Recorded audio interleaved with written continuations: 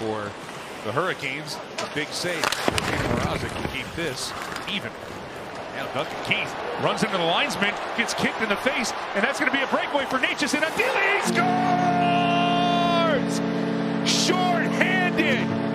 His first short-handed goal came the other night on an empty netter. This time he does it the traditional way, and the Hurricanes go up 1-0.